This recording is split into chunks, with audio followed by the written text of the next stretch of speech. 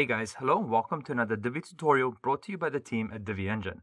My name is Roby and today I'm going to be showing you how you can add modules to various spots within your Divi website that normally you wouldn't be able to. Looking here on the screen, we can see that I've got a module here in the widget area in the footer. I've got a module within a module, this login module is inside of this blurb module. And then also up here, I have it in the menu. So a lot of cool stuff you can do with this. So without wasting your time, let's get into it. Let's get cooking. Alrighty, so the first thing we need to do for today's tutorial is to log into the backend of our Divi install and then go to the pages area because first we need to add a, a login module for this example, but you can really add any module, but we're going to be adding this module to the page because we have to extract the shortcode that Divi generates for that module so we can move it around the site. So let's go to pages and I'm just going to click on add new here. Now, next, I'm just going to add login since we'll be using a login module. It makes sense to give it a nice descriptive name, but again, you can call it whatever you like. And again, also, you can use any type of module that you want. We're going to say build from scratch. And you can also add this to existing page. This is just so we can see what that code looks like when we get to that point. So I'm going to type in login and add that in there. We're not going to do any changes here yet, but you can also let's well let's do this let's say login module tutorial just so that we can see it on the page. And just click that. We're going to click publish. And you know as you guys know Divi is comprised of all these different modules and rows and columns that you throw together in a nice visual way. But what happens is once you turn off the Divi like actual theme plugin or the Divi builder it's going to generate all those different shortcodes, which actually gets processed to generate the HTML on the front end of the site. So to get that going and to get that code for this login module, we're going to go to Appearance. We're going to say Themes. Now here you're going to want to select one of the other themes that you have. I have my child theme here. I'm just going to use the stock 2021 theme and press Activate. And that'll disable the Divi plugin, or Divi uh, theme rather. And now we're going to go back to our pages here and go towards that page that we just created. And we're just going to right click here and say open in a new tab so we can view it. Okay, so here we see the, the, the different codes that was generated.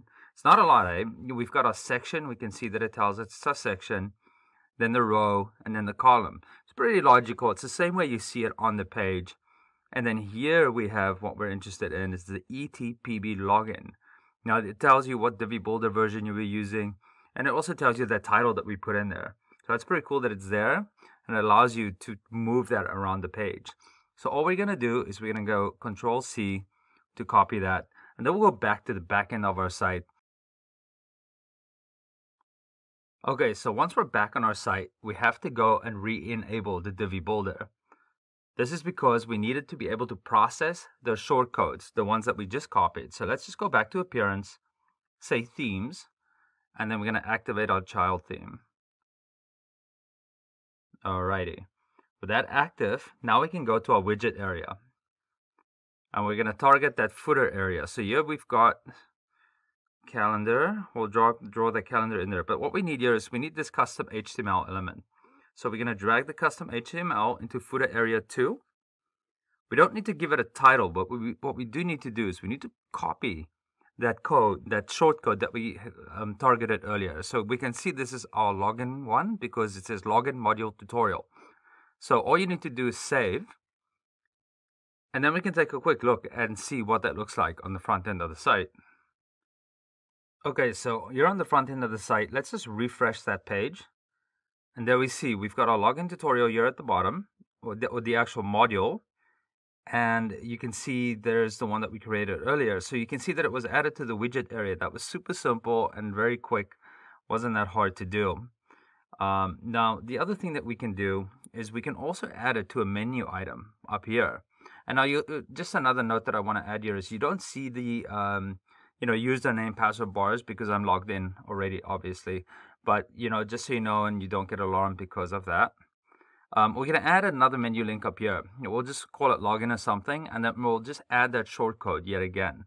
So we still have that shortcode on our clipboard. So now let's get, go back to the back end of the site again. Okay, so back in the back end of the site, we need to do one thing before we can get that module in the menu.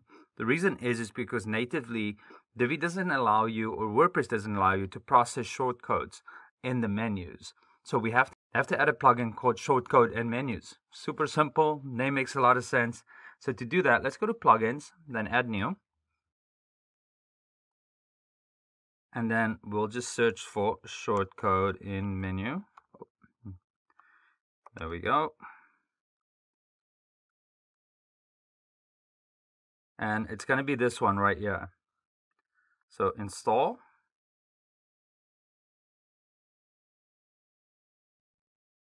And then activate. Now, once this is activated, this is super simple. All you need to do is throw the shortcode in, and it'll work just like it did before when we were adding it to the widget area on the bottom. Now let's go to appearance and menus and we'll add that login item to the menu here um, but we're just going to use a custom link we'll just say we'll put a hash here for this because we don't want it to click through and let's say log me in and then add that now we want to add a sub menu item here so we're going to go custom link again we'll just use the hash but now for the link text, you go ahead and you paste that shortcode. And you just click add, and you just pull it over a little bit to make it a sub menu item here to the log me in portion. Hit save on that. And now you might have to create a menu if you don't have one yet, and just make sure you assign it as your primary menu if that is the case. So let's go back to that front end page and see what it looks like now.